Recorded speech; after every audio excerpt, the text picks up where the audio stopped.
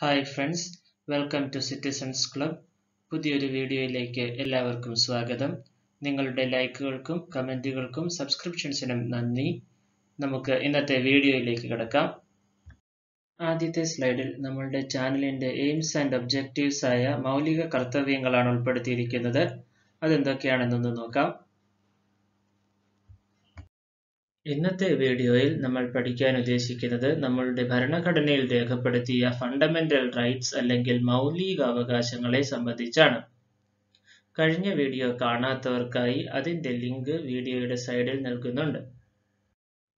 മൗലികാവകാശങ്ങളെ കുറിച്ച് പഠിക്കുന്നതിന് മുൻപായി നമുക്ക് അവകാശങ്ങളുടെ പൊതുവിലുള്ള ചരിത്രം ഒന്ന് നോക്കാം.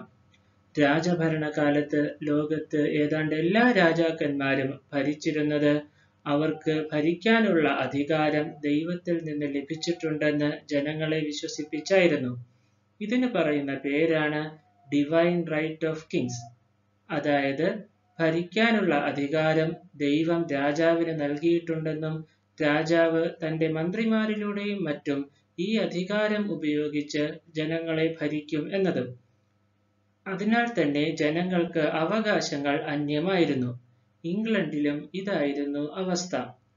ഇങ്ങനെയുള്ള രാജാവിന്റെ ദുർഭരണത്തിൽ പൊറുതിമുട്ടിയ ഇംഗ്ലണ്ടിലെ ജനങ്ങൾ പ്രക്ഷോഭത്തിൽ ഏർപ്പെടുകയും തങ്ങളുടെ അവകാശങ്ങൾ രാജാവിൽ നിന്നും ഒരു ഉടമ്പടി പ്രകാരം എഴുതി മേടിക്കുകയും ചെയ്തു. ഇതിന് പറയുന്ന പേരാണ് മാഗ്ന കാർട്ട. എന്നാൽ ഈ അവകാശങ്ങൾ സമൂഹത്തിലെ പ്രമാണിമാരിൽ ഒതുങ്ങിയിരുന്നു. ആയിരത്തി എഴുന്നൂറ്റി എഴുപത്തി ആറിൽ യുണൈറ്റഡ് സ്റ്റേറ്റ്സ് ഓഫ് അമേരിക്ക എന്ന രാജ്യം നിലവിൽ വന്നപ്പോഴാണ് സാധാരണ ജനങ്ങൾക്കും അവകാശങ്ങൾ ലഭിച്ചു തുടങ്ങിയത്. അവിടെ ജെയിംസ് മാഡിസൺ എന്ന സാമാജികൻ സാധാരണ ജനങ്ങൾക്ക് അവകാശങ്ങൾ ഉറപ്പുവരുത്തുന്നതിനായി ബിൽ ഓഫ് റൈറ്റ്സ് അവതരിപ്പിക്കുകയും ഇവ അമേരിക്കൻ ഭരണഘടനയുടെ ആദ്യ പത്ത് അമെൻമെന്റുകളായി ഉൾപ്പെടുത്തുകയും ചെയ്തു. ഇവയെയാണ് പിന്നീട് ഫണ്ടമെന്റൽ റൈറ്റ്സ് എന്ന് അറിയപ്പെട്ടത്. അടുത്തതായി ഈ അവകാശങ്ങളെ എന്തുകൊണ്ടാണ് മൗലിക അവകാശങ്ങൾ എന്ന് വിളിക്കുന്നതെന്ന് നമുക്ക് നോക്കാം. ഒന്നാമതായി ഇവ ഒരു മനുഷ്യന്റെ അന്തസ് സംരക്ഷിക്കുന്നതിന് അത്യന്താപേക്ഷിതമാണ്. മാത്രവുമല്ല ഇവ ഉറപ്പു നൽകുന്നത് ഒരു രാജ്യത്തിന്റെ ഭരണഘടനയാണ്. ആ രാജ്യം നിർമ്മിക്കുന്ന ഏതൊരു നിയമവും ഉത്തരവും നടപടിയും നയങ്ങളും ഈ മൗലികാവകാശങ്ങളുടെ ലംഘനത്തിന് കാരണമാവില്ല എന്ന് ഭരണഘടന ഉറപ്പു നൽകുന്നു. നമ്മളുടെ രാജ്യത്ത് മൗലികാവകാശങ്ങൾ രേഖപ്പെടുത്തിയിരിക്കുന്നത് ഭരണഘടനയുടെ മൂന്നാം ഭാഗത്തിലാണ്. അവ എന്താണ് പറയുന്നതെന്ന് നമുക്ക് നോക്കാം. ആദ്യമായി പന്ത്രണ്ടാം അനുച്ഛേദത്തിൽ എന്താണ് രേഖപ്പെടുത്തിയിരിക്കുന്നതെന്ന് നോക്കാം. മൂന്നാം ഭാഗത്തിൽ സൂചിപ്പിച്ചിരിക്കുന്ന രാഷ്ട്രം അല്ലെങ്കിൽ സ്റ്റേറ്റ് എന്ന പദത്തിന്റെ നിർവചനമാണ് പന്ത്രണ്ടാം അനുച്ഛേദത്തിൽ ഉൾപ്പെടുത്തിയിരിക്കുന്നത്.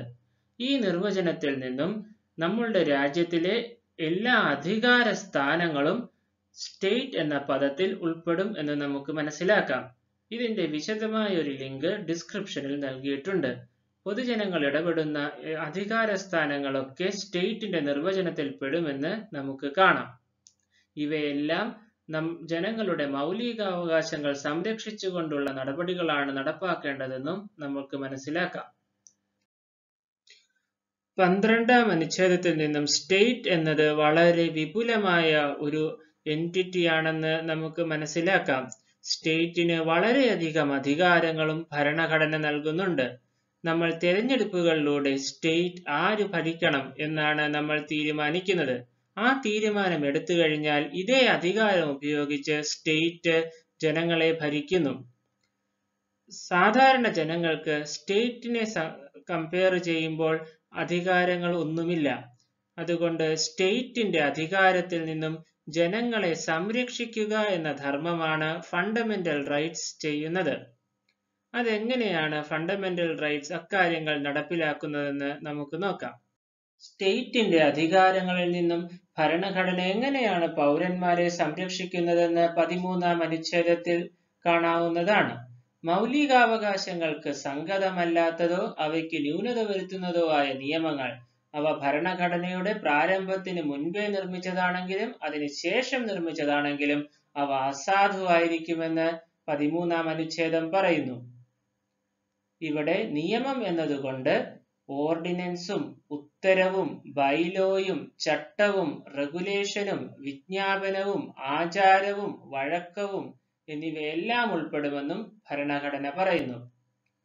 ഇങ്ങനെയുണ്ടാക്കിയ നിയമങ്ങൾ ഏതെങ്കിലും മൗലികാവകാശങ്ങൾക്ക് ലംഘ ലംഘനമാണെന്ന് പൗരന്മാർക്ക് തോന്നിയാൽ അവർക്ക് കോടതിയെ സമീപിക്കാവുന്നതും കോടതിയും അത് ശരിവെക്കുന്ന പക്ഷം അതേ നിയമങ്ങൾ അൾട്രാവിറസ് ആയി ഡിക്ലെയർ ചെയ്യുകയും അതായത് ഭരണഘടനയുടെ സ്പിരിറ്റിന് ചേർന്നതല്ല എന്ന് ഡിക്ലെയർ ചെയ്യുകയും അവയെ നൾ ആൻഡ് വോയിഡ് ആക്കുകയും കോടതി ചെയ്യുന്നു. ഇങ്ങനെയാണ് പൗരന്മാരുടെ അവകാശങ്ങൾ ഭരണഘടന സംരക്ഷിക്കുന്നത്. ഇന്നത്തെ വീഡിയോയിൽ നമ്മൾ ഭരണഘടനയുടെ പന്ത്രണ്ടാം അനുച്ഛേദവും പതിമൂന്നാം അനുച്ഛേദവുമാണ് കണ്ടത്. വീഡിയോ ഇഷ്ടപ്പെട്ടെങ്കിൽ ലൈക്ക് ചെയ്യുക ഷെയർ ചെയ്യുക സബ്സ്ക്രൈബ് ചെയ്യുക.